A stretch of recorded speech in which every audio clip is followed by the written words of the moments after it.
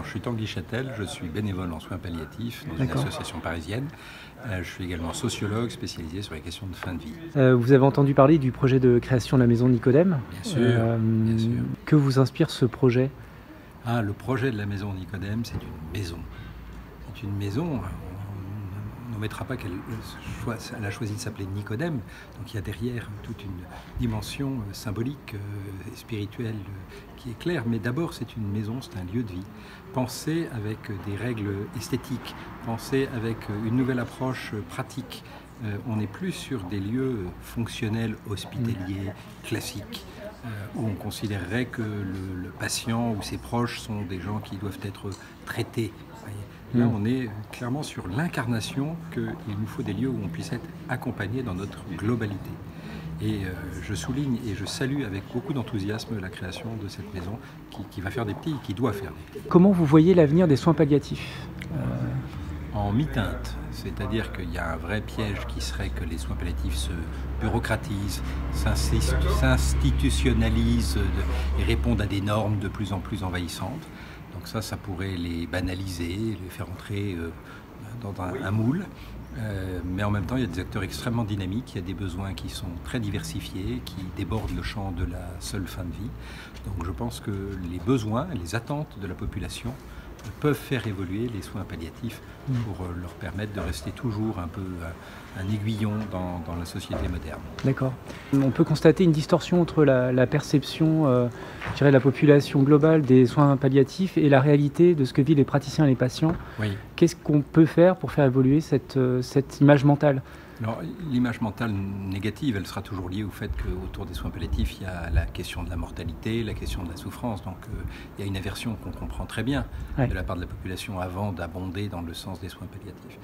Ça veut dire que c'est les patients eux-mêmes, les aidants, les professionnels et les bénévoles qui ont la responsabilité de faire savoir la réalité des soins palliatifs. Ça passe par des mm. témoignages qui doivent être décomplexés qui doivent sortir de, l'approche un peu technique, un peu juridique, un peu éthique, euh, pour aller au-delà, autour du, bienfait, du bénéfice, y compris pour ceux qui sont euh, accompagnants et pas simplement pour ceux qui sont accompagnés. Mm.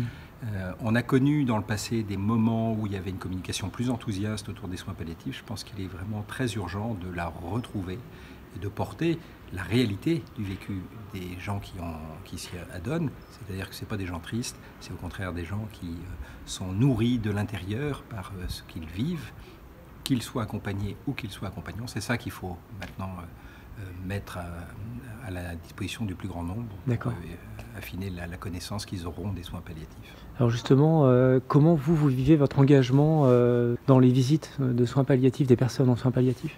Moi, mon engagement, il est double. Euh, aujourd'hui, il est un peu moins où je fais des patients parce que j'ai plus vraiment le temps, mais j'ai bien l'intention de le retrouver. Ça, c'est un lieu où on se ressource. C'est un lieu où on va à l'essentiel.